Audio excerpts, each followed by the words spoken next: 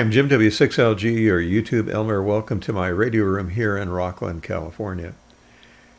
In the last episode, I, I showed a schematic of a typical 3-500Z. The schematic was drawn by uh, Bill Orr, probably about 1965-66. And it became the basis, I believe, of most of the amplifiers that were commercially made at the time, like the SB220 and the Drake L4B and, and some others. Now, from that schematic, I erased uh, several parts to simplify the explanation as I went through what was there.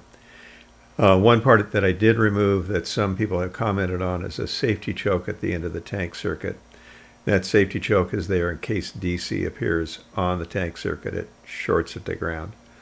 That is an important item.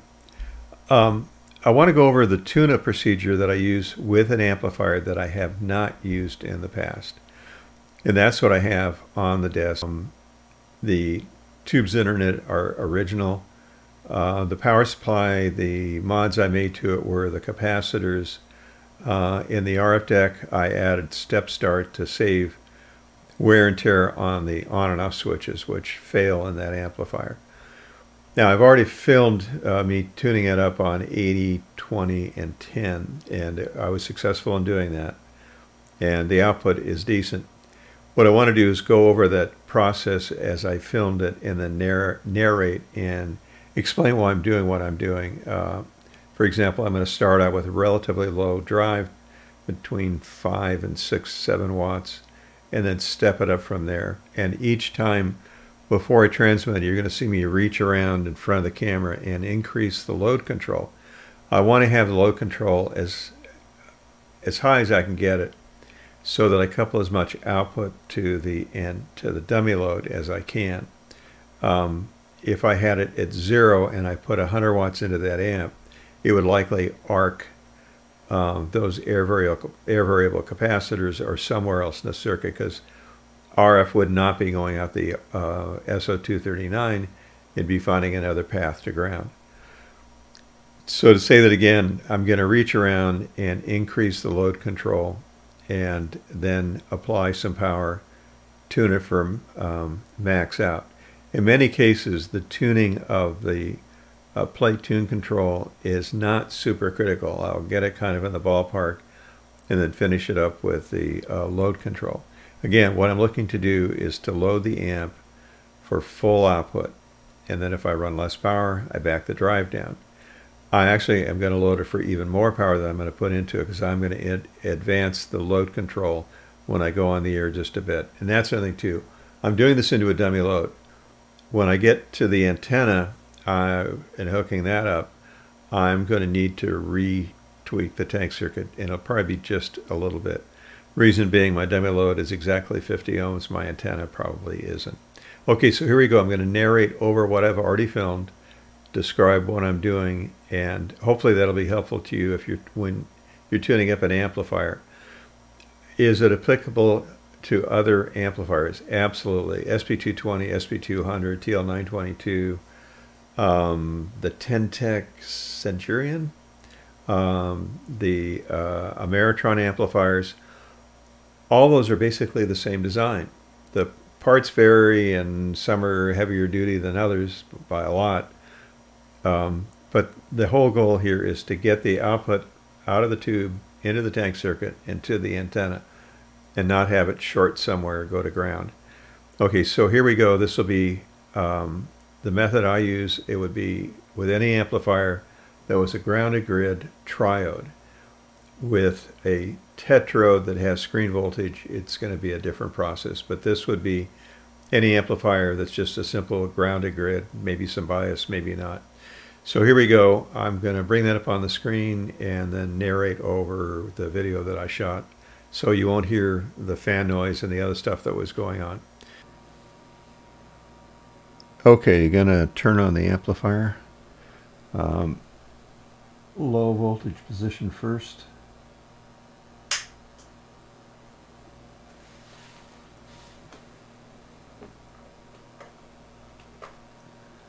And that's about 1800 volts and gonna go ahead and put it in the high voltage position.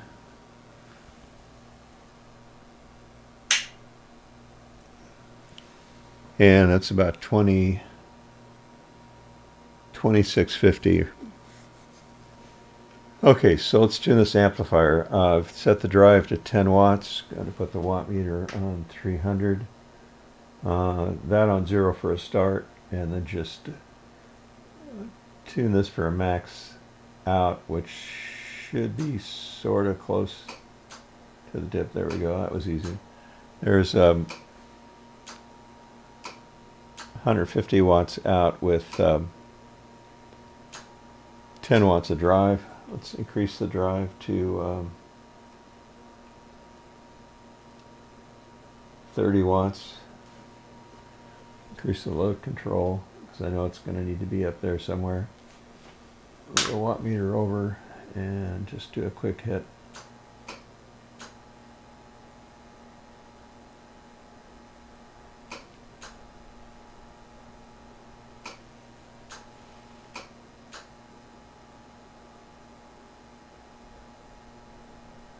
Okay, that's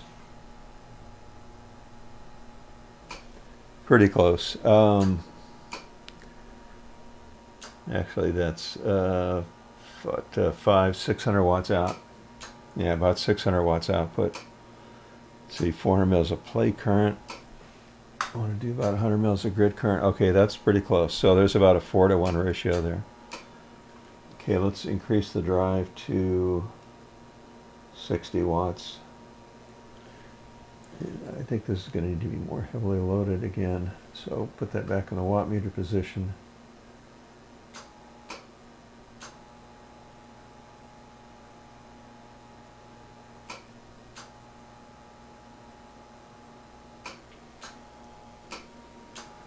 Okay, that's um, 800 watts out on the built-in watt meter and 900 watts out on the attached bird.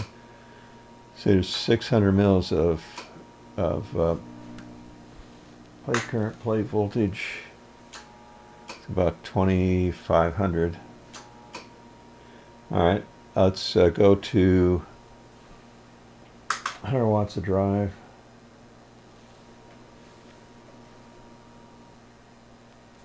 It's in the uh, forward reading position.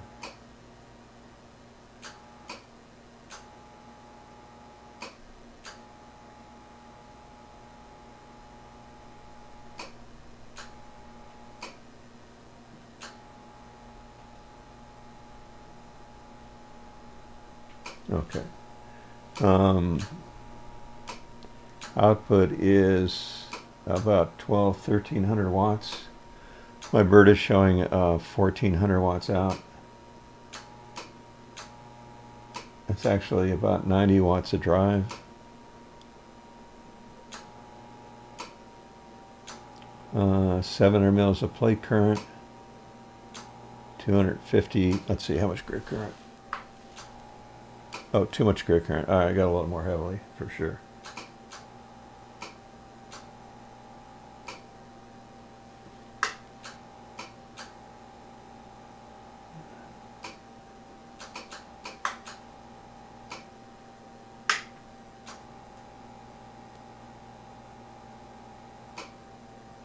All right, let's see how that looks. Um, 800, I'm driving a little too hard now.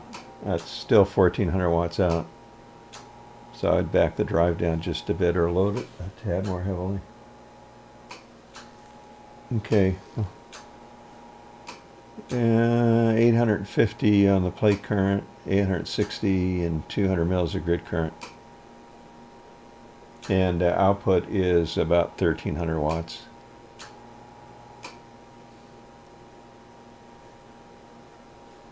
Let's see what happens if I load it just a tad more heavily.